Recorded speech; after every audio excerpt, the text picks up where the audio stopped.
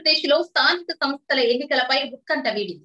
ఎన్నికలు నిర్వహించేందుకు court green signal ఇచ్చింది. పరిషత్ ఎన్నికల నిర్వహణపై హైకోర్టు డివిజనల్ బెంచ్ తీర్పునిచ్చింది.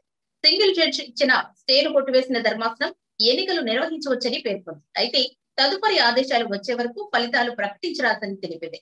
విచారణ సందర్భంగా ఎన్నికల నోటిఫికేషన్కు సంబంధించిన పూర్తి వివరాలు ఇవ్వాలని న్యాయస్థానం ఎస్ఈసిని కోరింది. అయితే సరైన పత్రాలు సమర్పించకపోవడంతో విచారణను కాసేపు వాయిదా వేసింది. విచారణ సందర్భంగా సుప్రీంకోర్టు మార్గదర్శకాలను ఎందుకు పాటించలేదని ధర్మాసనం ఎస్ఈసిని ప్రశ్నించింది. ఎస్ఈసి తరపున సివి మోహన్ రెడ్డి ప్రభుత్వం తరఫున అడ్వకేట్ జనరల్ వాదనలు వినిపించారు. ఎన్నికల నిర్వహణకు సంబంధించిన పూర్తి అధికారాలు ఎన్నికల కమిషన్కు ఉంటాయని నాలుగు వారాల కోడ్ ఉల్లంఘన నిబంధన ఎక్కడా లేదని కోర్టుకు చెప్పినట్లు తెలుస్తోంది.